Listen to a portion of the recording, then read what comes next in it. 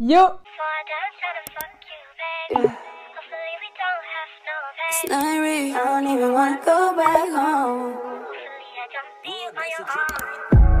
What is this love and war? He know that I love him, fucking me raw. He know I ain't with it, never did it before. He got me c'est Soraya et je reviens aujourd'hui dans une vidéo pour vous expliquer un petit peu les démarches, etc. pour aller vivre en Espagne. Pour ceux qui ne le savent pas, j'habite à Barcelone, donc en Espagne depuis juillet. Avant, j'étais aux États-Unis et j'avais pas envie de rentrer en France, donc du coup, je me suis dit, il faut que je trouve un plan. Je voulais grave vivre au soleil et je cherchais un truc assez facile, sans trop de démarches et sans restriction avec le Covid. Du coup, les mêmes questions sont tout le temps posées. J'ai remarqué sur le groupe Les Français à Barcelone, c'est une super source d'informations, mais franchement, c'est tout le temps, tout le temps, tout le temps les mêmes questions. Donc je me dis, autant condenser ça dans une vidéo et comme ça, tout est expliqué, tout est easy. Du coup, j'ai des notes parce qu'il y avait plein de trucs à dire et je ne veux pas oublier un seul détail. Dans cette vidéo, je vais vous expliquer comment trouver un travail, trouver un logement, comment faire son NIE, et sa carte de sécurité sociale, comment ouvrir un compte en banque, comment avoir une carte SIM espagnole. Je vais aussi vous expliquer comment ça se passe en termes de transport et également quels sont les meilleurs quartiers où vivre et comment trouver des meubles, etc. Enfin bref, franchement c'est une vidéo que je vais essayer de faire le plus complète possible, comme ça au moins ça facilitera la vie de tous ceux qui veulent emménager en Espagne et ça donnera peut-être des idées à certains. Donc on va commencer par le travail. À moins que vous puissiez faire le métier que vous faites actuellement d'où vous voulez, il va vous falloir un travail. Moi pour la petite histoire, j'étais aux États-Unis du coup depuis à peu près deux ans et demi et je devais rentrer pour cause de visa. J'avais pas du tout envie de rentrer en France et je me suis dit il faut que je trouve un, plan B et donc du coup j'ai commencé à regarder sur internet et j'ai tapé job worldwide. Genre vraiment j'étais ouverte à tout sauf la France et du coup, j'ai trouvé du travail assez facilement en Espagne, honnêtement. Enfin, en tout cas, à Barcelone. Je sais pas comment ça se passe pour les autres régions d'Espagne, mais en tout cas, à Barcelone, je trouve pas ça trop compliqué. C'est pas trop dur en étant francophone de trouver du travail à Barcelone. Si vous parlez anglais, encore mieux. Si vous parlez espagnol, encore mieux. Et si vous parlez catalan, bah alors là, euh, vous avez vraiment le choix, euh, grave, grave, grave de choix. Donc il y a plusieurs types de contrats, il y a plusieurs types de travail que vous pouvez trouver à l'étranger, dont en Espagne. Ça peut être un contrat normal et ça peut être aussi un VIE. Donc si vous avez moins de 29 ans, il me semble que vous pouvez faire un VIE. Moi je m'étais inscrite avant mes 29 ans du coup. Donc du coup, tu as vraiment des offres d'emploi partout dans le monde, dont en Espagne. Sinon, tout simplement, moi j'ai recherché sur internet, j'ai vraiment tapé euh, job worldwide, job in Barcelona, job in Spain et euh, j'ai réussi à trouver des offres d'emploi. Faut pas hésiter non plus à aller sur le groupe Les Français à Barcelone, comme je disais, c'est une mine d'informations.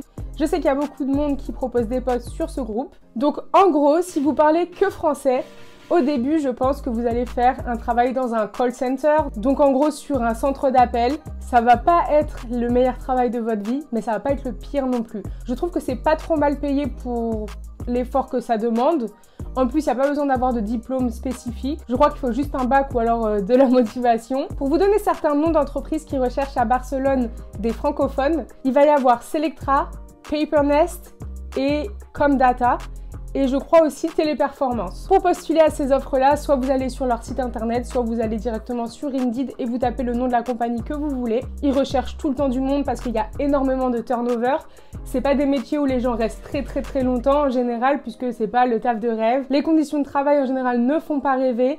Les salaires, ça dépend des entreprises et honnêtement, avoir 50 appels par jour, c'est fatigant. Franchement, c'est fatigant. Pour vous donner mon expérience, moi du coup j'ai été recrutée par Selectra lorsque j'étais encore aux États-Unis, donc j'avais postulé directement. Je faisais mes entretiens à 2h du matin avec le décalage horaire parce que j'étais en Californie, donc il y avait 9 heures de différence. Mais bon, quand on veut, on peut. Au moins, ça vous permet d'avoir un salaire fixe et d'avoir quelque chose quand vous arrivez sur place. Honnêtement, c'était très bien payé, mais c'est vraiment un travail qui est fatigant mentalement. En fait, vraiment, moi, j'en pouvais plus. Après, euh, j'ai fait quelques mois. Il y a des gens qui ont fait plus longtemps, il y a des gens qui ont fait moins longtemps. Honnêtement, ça dépend de chacun. Moi, après, j'avais déjà eu des expériences dans les call centers et dans la vente, etc. Donc, je crois que j'étais un peu fatiguée de tout ça. Donc, du coup, euh, voilà. En tout cas, moi je vous le conseille, allez dans un call center au début, ça vous permet vraiment d'avoir un travail facilement et qui paye plutôt pas mal en Espagne. Parce que à savoir que le SMIC espagnol, je crois que c'est à peu près 900 euros Et dans ces entreprises-là, vous êtes payé bien plus que ça. Si tu parles anglais et français, alors là, ton champ de possibilités est beaucoup plus grand parce qu'il y a tellement, mais tellement d'entreprises qui cherchent des gens bilingues français-anglais. C'est un truc de fou. Moi, je m'en suis rendu compte du coup quand j'ai quitté mon premier travail pour rechercher un autre travail. Quand j'ai posté mon CV, je l'ai posté genre à 3h du matin et le lendemain, enfin quelques heures plus tard, j'avais déjà 5 appels parce que j'étais bilingue. Pour vous donner un petit peu des noms d'entreprises qui recrutent des bilingues français-anglais, ça va être Téléperformance aussi, Amazon, Airbnb, TripAdvisor, Treatwell et sûrement plein d'autres entreprises que je ne connais pas, mais honnêtement, ces entreprises-là, je sais qu'elles recrutent et que le travail est plutôt pas mal. Et bien sûr, si tu parles anglais, français et espagnol, ou au moins français et espagnol, bah t'as tout le choix euh, possible. Bah parce que tu peux travailler dans n'importe quel magasin, n'importe quelle euh, entreprise, puisque tu peux parler espagnol. En ce qui concerne le logement, moi je conseille que quand tu arrives sur place, tu prends un Airbnb ou un hôtel. Franchement, moi j'ai fait cette erreur-là et je regrette pas, mais en tout cas, franchement, si c'était à refaire, j'aurais fait différemment. En fait, il y a plein d'applications pour trouver des colocations ou des appartements. Et moi, j'ai directement pris un appartement en colocation avec des gens que je ne connaissais pas lorsque j'étais aux États-Unis. Donc du coup, je n'ai absolument pas vu l'appartement, je l'ai vu qu'en FaceTime et les gens, je leur avais parlé vite fait, mais j'étais pas vraiment sûre que le feeling passait bien. Bon, une fois que je suis arrivée sur place, c'était pas si pire que ça, c'était bien placé. C'est juste que franchement, ils parlaient que en catalan et pas en espagnol, donc du coup, c'était grave, grave, grave relou à vivre tous les jours. Moi, à savoir que je parle français, anglais, espagnol, je me débrouille, mais catalan, je je connais rien quoi. Donc franchement c'était hyper compliqué d'être avec trois personnes qui parlent catalan tout le temps, tout le temps, tout le temps. Moi je voulais vraiment évoluer en espagnol et du coup je me suis dit ben franchement euh, là c'est chaud quoi. Enfin bref, là je m'éparpille, mais c'était tout ça pour dire que ne payez rien avant d'avoir vu en vrai. Ne payez aucune caution, ne payez rien du tout, faites aucune avance. J'ai eu tellement d'histoires que je connais des personnes qui ont payé des cautions pour des appartements et une fois arrivé, bah, le propriétaire est jamais venu, donc du coup ben t'as rien. Et puis tu sais jamais sur quoi tu vas tomber. Franchement, le mieux c'est de prendre un Airbnb ou un hôtel. Et puis après, tu t'inscris sur les sites pour trouver un logement. En vrai, ça va trop vite ici. Tu visites, tu as l'appartement. Enfin, il n'y a pas des histoires de dossiers, etc. C'est l'argent. si tu es prêt à aligner la thune, tu as ton appartement. En général, pour les colocations, ils demandent une caution et un mois de loyer quand tu arrives. Et pour les appartements, par contre, ça coûte super cher. Il faut payer la caution, un mois de loyer et euh, les frais d'agence en général. Donc ça coûte vraiment vraiment cher. Donc c'est pour ça qu'il y a peu de personnes qui sont en appartement. Aussi la raison pour laquelle il y a peu de personnes qui sont en appartement, c'est qu'il y a très peu de petits appartements. En fait, il n'y a pas beaucoup d'appartements style studio ou T2. Il y a beaucoup d'appartements avec 4-5 chambres. En tout cas, pour récapituler les applications super intéressantes pour trouver une coloc, je dirais Badi, Idealista et Facebook. Et pour trouver un appartement seul, je dirais la même chose, Badi, Idealista, Facebook et aussi les agences immobilières. En ce qui concerne le choix du quartier, franchement, chaque quartier a son charme, chaque quartier a son plus et son moins. Je vais essayer de vous détailler un petit peu ça, comme ça, ça peut vous aider. Je vais commencer par le quartier de San Antonio Poblesec. Si je dis pas bien les noms des quartiers, désolé. Je dis comme je crois que ça se dit. Donc pour le quartier de San Antonio et Poblesec, je dirais que les plus, c'est que c'est très proche du centre-ville et c'est assez calme. Par contre, le moins, je dirais que c'est pas safe partout, genre euh, ça peut être un peu euh, mal fréquenté par moment. Ensuite, pour le quartier qui est Plaza Catalunya et euh, la Rambla, les plus, je dirais que c'est central, que pour le shopping c'est top, pour sortir c'est top, il y a plein de choses à voir. En plus, pour le métro, il y a plein de connexions, donc c'est génial. Et en plus, il y a aussi le bus pour aller à l'aéroport. Par contre, les moins, bah, c'est super touristique, donc euh, il y a beaucoup, beaucoup, beaucoup, beaucoup d'affluence. Il y a beaucoup, beaucoup de monde, il y a beaucoup de touristes et il y a beaucoup de bruit et je crois que les loyers sont un petit peu plus chers. Ensuite, il y a le quartier du Gothique. Donc ce quartier, il est atypique, il est super charmant, c'est vraiment euh, mignon et tout. Il y a plein de trucs cool pour sortir, il y a plein de petits magasins grave mignons. Par contre, les grands moins, c'est qu'il n'y a pas du tout de lumière parce que c'est plein de petites rues étroites. Donc du coup, toutes les rues, elles sont collées. En fait, c'est vraiment des, des rues toutes étroites. Donc la fenêtre de chez toi, c'est la fenêtre du voisin presque. Donc lumière vis-à-vis, euh, c'est un petit peu chaud. Aussi, moi, je trouve ça sale. En fait, je crois que pour préserver du coup les rues, il n'y a pas les bennes à ordures. Donc du coup, les gens laissent leurs poubelles par terre et du coup, les éboueurs passent. Et je trouve ça dégueulasse parce que souvent, il y a des sacs qui sont arrachés. Enfin bref, ça pue un peu, je trouve, dans le gothique. Donc les moins du gothique, moi je dirais la luminosité, le vis-à-vis, le bruit, et c'est assez sale. Ensuite, il y a le quartier du Raval. Donc les plus du Raval, c'est que c'est assez central. C'est pas cher en termes de loyer et c'est cosmopolite, c'est pas touristique. Par contre, c'est assez sale et c'est pas très très safe. Genre, il y a plein d'histoires de personnes qui se sont fait voler leur téléphone dans le Raval, qui se sont fait agresser, etc.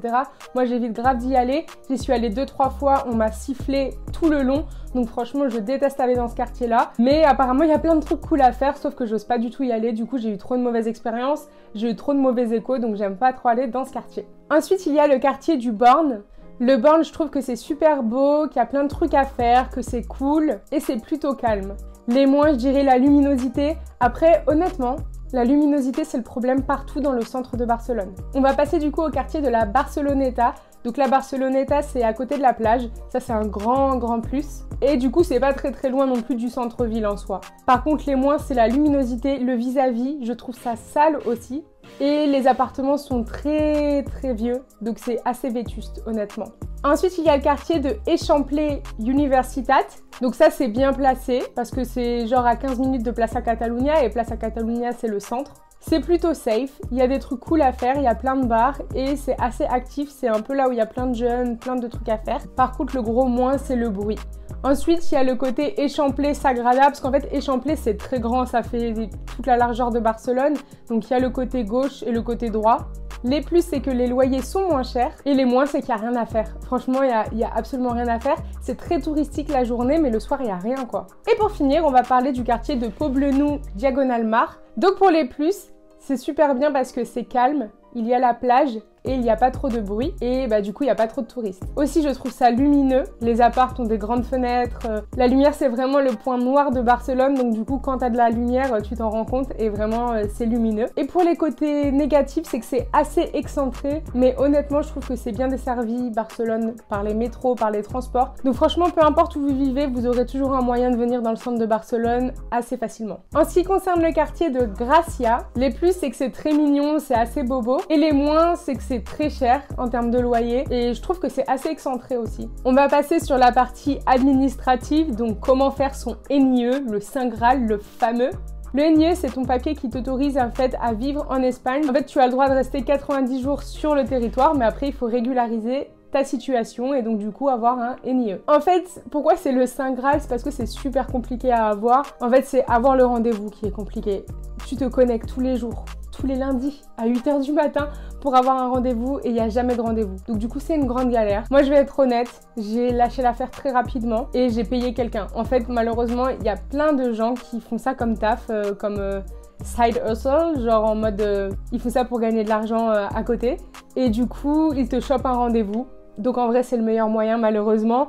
Euh, moi, j'ai payé 25 euros et du coup, la personne m'a envoyé un message et m'a dit j'ai un rendez-vous pour toi tel jour. Ça a été super rapide du coup. Une fois que tu es sur place pour aller faire ton NIE, ça va très très vite. Il faut juste que tu aies tous les papiers. Donc, les papiers qu'il faut avoir pour avoir ton NIE, c'est l'original de ton passeport plus une photocopie, le justificatif de rendez-vous, le formulaire EX18. Donc, ça, tu le trouves sur internet. Franchement, tu tapes juste formulaire EX18 et tu le trouves, c'est super simple. Une attestation d'employeur, donc il faut que tu aies un travail, un contrat de travail ou une promesse d'embauche. Une attestation de location, donc si tu n'as pas un appartement à toi-même, ben ta coloc ou ton propriétaire peuvent te faire une attestation sur l'honneur et avec euh, une facture, il n'y a pas de problème. Ensuite, sur place, il faudra payer 12 euros et aussi il faut le certificat de sécurité euh, sociale espagnol. Ensuite, une fois que tu as tous ces papiers et que tu les ramènes le jour de ton rendez-vous, franchement, c'est assez rapide. Il te donne ta carte verte directement et puis c'est réglé, c'est fini. Une fois que tu as fait ton NIE, il faudra du coup faire ton padron. Euh, je crois que ça, c'est pour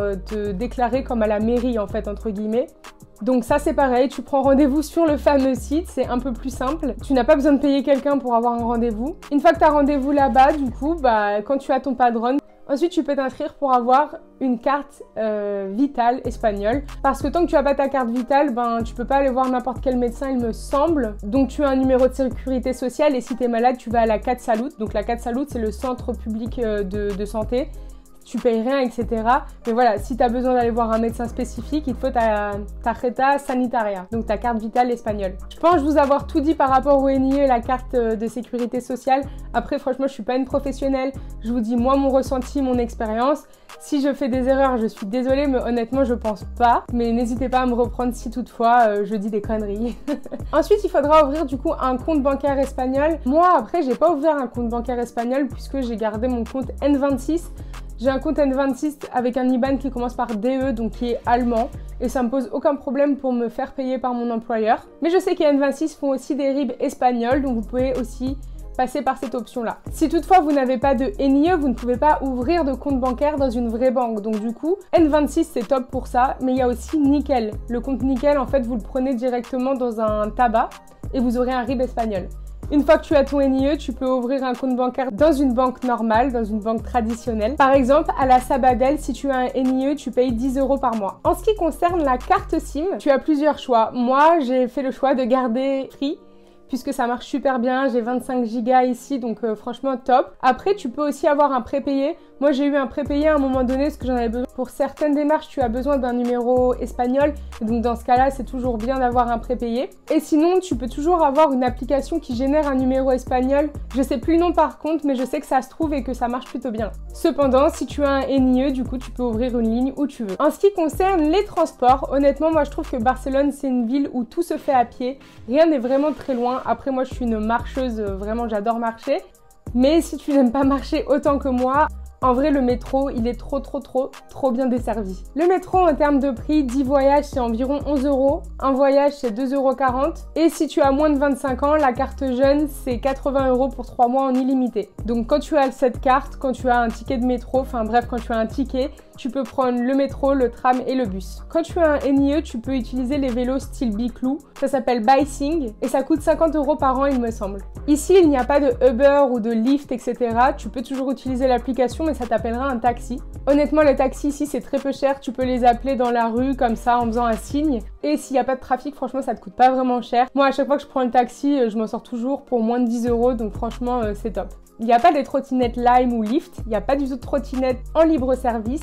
Si tu veux une trottinette, faut la louer dans un magasin et du coup c'est pour une heure ou une journée, mais c'est pas du tout en libre service, tu peux pas la laisser n'importe où dans la rue. En libre service, par contre, il y a des scooters, ça s'appelle Yego. C'est des scooters électriques qui roulent jusqu'à 50 km/h. T'as juste besoin de t'inscrire et de mettre ton permis en ligne et du coup tu payes. C'est à peu près le même prix que quand tu utilises une trottinette, donc euh, pas très très cher. Si tu emménages à Barcelone et que tu prends un appartement à toi seul ou que tu as besoin de quelque chose pour ta chambre, pour t'acheter des meubles, il y a bien sûr les magasins traditionnels, mais sinon tu peux aller sur le bon coin espagnol, ça s'appelle Wallapop. Sinon sur Facebook, bien sûr, dans les groupes et dans le truc où tout le monde vend ces, ces choses-là.